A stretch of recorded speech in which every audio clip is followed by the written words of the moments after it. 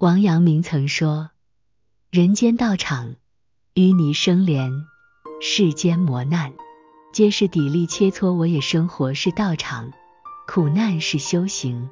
行走于世，每个人都有困厄的时候，也会遭遇数不清的烂人破事。有的人抱怨连连，结果就此消沉，沦为庸人；有的人挫越勇，在苦难中磨练自己，终成大器。正所谓，经世长治，立世成人。世间万事，凡是磨你的，都是来渡你的。厄运，磨练你的心态。心理学大师弗兰克尔曾说：“任何人，在任何地方，都会遇到厄运。身体遭逢大病，事业受到冲击，家庭发生不幸。当命运的暴风雨袭来，很多人都会被劈头盖脸的击倒在地。”自此一蹶不振。我们虽然无法支配自己的命运，却能够支配自己对命运的态度。面对厄运的侵袭，当你练就一个好心态，学会自我疗愈，自然就能安然度过。王阳明自小被誉为神童，能写诗会作词。当时的文坛领袖李梦阳见他之后，直呼有状元之姿。可当他意气风发地参加会试时，却不幸落榜。颇感难堪的他，当即离开京城，躲到老家浙江的一处深山之中静修。不料，三年之后，王阳明再次落榜。很多人都嘲讽他狂妄自大，徒有虚名。可王阳明这次却相当淡定，是皆以不地为耻。我以不地动心为耻。面对科举的不顺与外界的质疑，王阳明的内心逐渐变得平和。数年后，他终于考中进士。谁知仕途还未开始，他就因为得罪了宦官刘瑾，被贬到贵州龙场。当时的龙场处在万山丛集之中，瘴气弥漫，驿站残破不堪。不少贬谪之人在龙场熬不过半年，就会抑郁病死。虽遭遇困境，王阳明并未就此颓废消沉。他找到一处山洞栖身，白天开荒种菜，晚上打坐读经。回想这些年来接二连三的不幸遭遇，王阳明却自我宽慰道：“目见荒荒。”心向明日章，虽然放眼所见一片狼藉，但只要心向阳光，仍旧前途可期。果然，三年之后，王阳明一夜悟道，心学大成。正是凭借这种乐观的心态，王阳明逆天改命，立地成圣。倪萍曾在姥姥语录中说：“自己不倒，啥都能过去；自己倒了。”谁也扶不起你面对生命中的种种挫折，只有屏蔽掉消极情绪，才会击不倒、打不垮。在这个世界上，每个人都有厄运缠身的至暗时刻，别因一时坎坷就逃避畏缩，别因一时失败便低头认输，磨练出心理韧性，保持弹性心态，才能修一颗强大的内心。实现自我救赎，破事，锻炼你的能力。公元一五一一年，王阳明从龙场驿城调任庐陵县令。刚到任，看到不少积攒的案件，他就迅速按着卷宗开始断案。不成想，一天清晨，他的府邸突然被许多百姓团团围住，他们嘲讽王阳明是非不分，瞎了眼。明明尽心尽力办公，王阳明却遭到了百姓们的一顿唾骂。直到打听到缘由，他才知道，原来当地有个退休太监，到处欺压百姓，还买通官吏，所以先前所留的卷宗，很多都是在颠倒黑白。王阳明稀里糊涂的断案，反倒是冤枉不少好人。此后。不论大小案件，王阳明都亲自跑现场，仔细调查。不到半年，他便妥善处理了很多案件，得到了百姓们的褒扬。王阳明曾说：“人须在世上磨。”很多时候，你所经历的破事，都将是对自我能力的一次锻炼。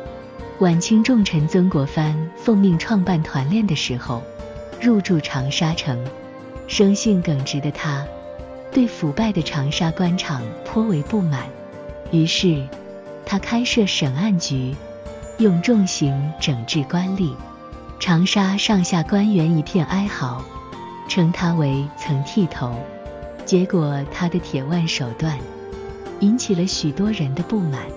原本为团练提供银两的乡绅，纷纷退资，导致团练军费不足，几近解散。他的府邸中时不时就会收到威胁信件，扬言要伤害他的家人。就在曾国藩焦头烂额之际，太平军袭来，不到一天，就打得团练丢盔卸甲。长沙官员见状。纷纷指责曾国藩刚愎自用，多行不义。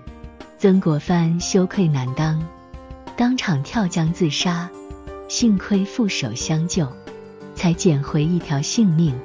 他痛定思痛，此后跟各路官员打交道开始变得张弛有度。适时的宽容与恩典，让他得到了众多官员的拥护。正是曾国藩处事能力的大幅提升。才使得湘军不断壮大实力，变得战无不胜。正如杨绛先生所说：“一个人经过不同程度的锻炼，就获得不同程度的修养，不同程度的效益。好比香料，捣得愈碎，磨得越细，香得愈浓烈。生活总来不是容易的，一个人想要有所长进。”就必须历经世事的锻炼，请记住，真金不怕烈火炼，能人不怕破事磨。